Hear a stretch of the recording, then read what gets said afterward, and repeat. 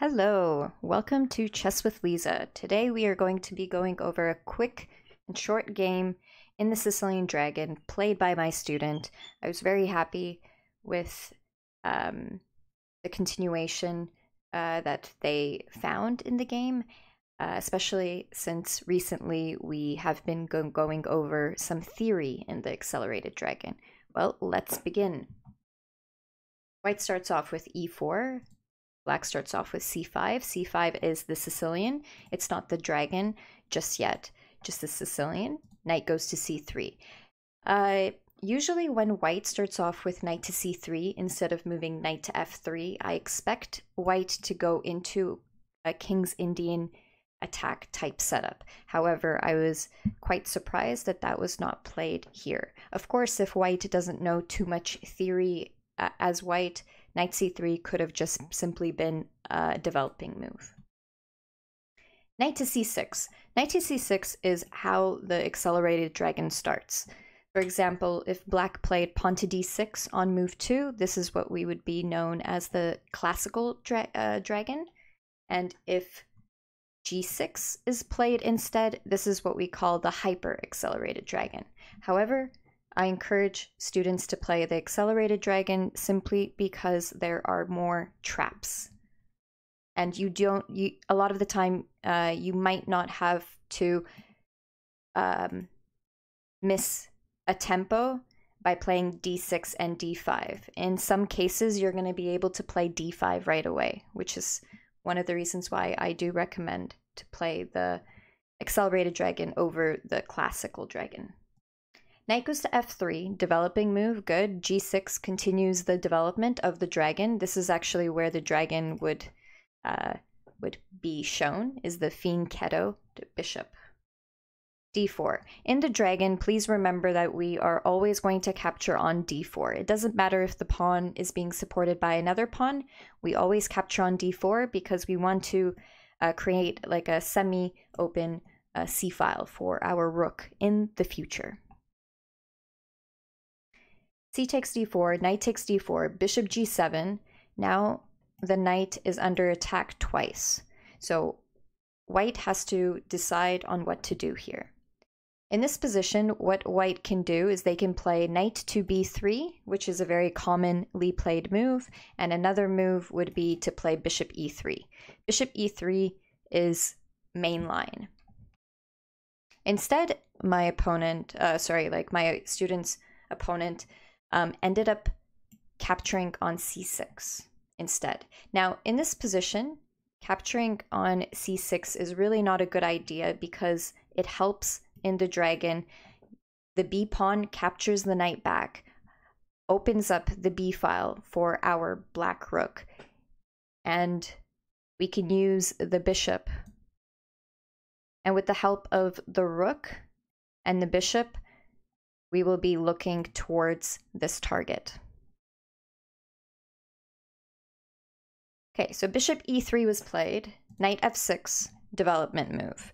Some of you might be wondering, uh, playing knight f6, doesn't this allow pawn to e5?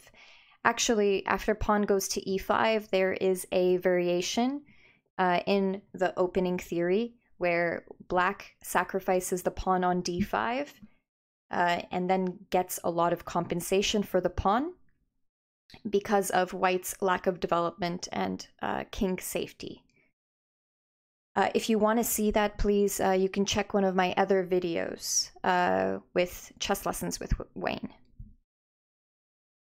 Okay, the opponent did not make that move. Instead, they played queen to d2. Queen d2 is a very common idea with trying to trade off the bishop. I'm actually very happy that my student did not castle right away.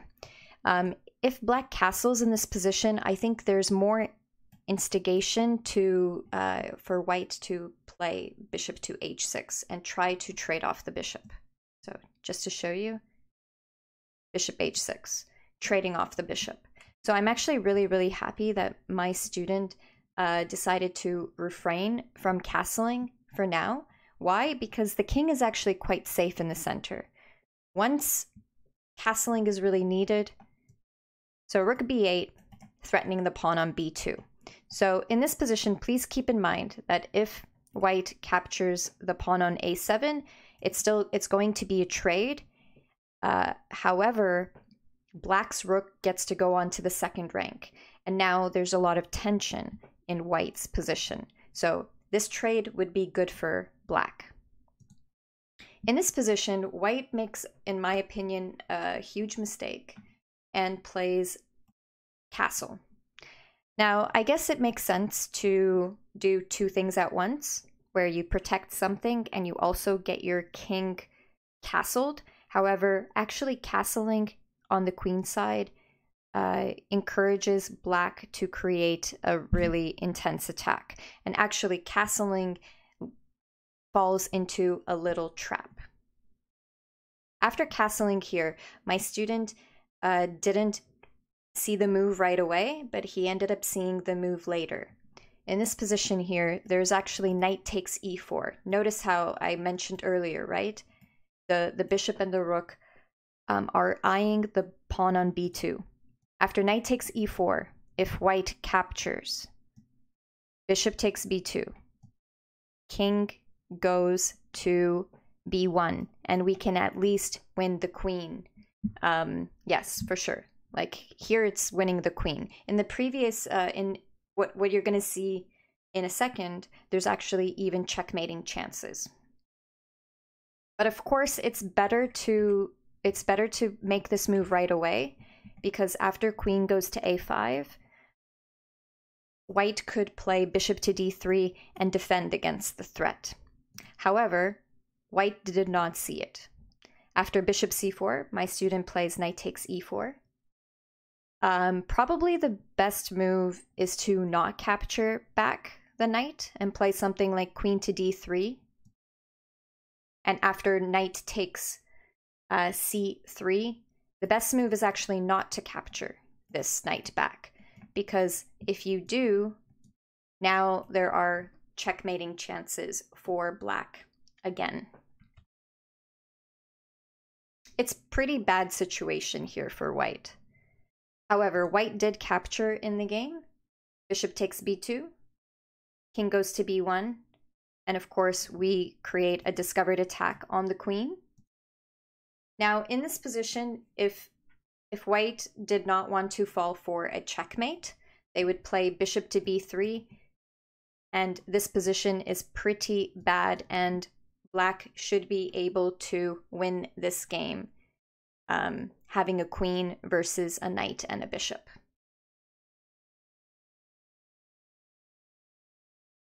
However, the person played king to c1. My student was uh, thinking mostly about the queen in this position, and he admitted it because uh, when we were going over the game, he was saying he was so focused on the queen rather than on checkmate possibilities. But um, black to move and checkmate in one move pause the video if you want to test yourself. Uh, but the answer is queen to a3, and we have a checkmate. Uh, even though after bishop takes d2, rook takes d2, my student continued on really, really well uh, to win even more material. And white did resign after realizing that they're losing the rook on h1. The reason why I wanted to upload this video is for those of you who are considering to play the dragon and see how quickly you can destroy your opponent if they do not know what they are doing. So I do want to make a mention on why white, uh, what what was white's two big mistakes to, of course, get into that losing scenario. Number one, white captured on c6. If you are playing white against the dragon, what you should be doing is you should be trying to hold the center.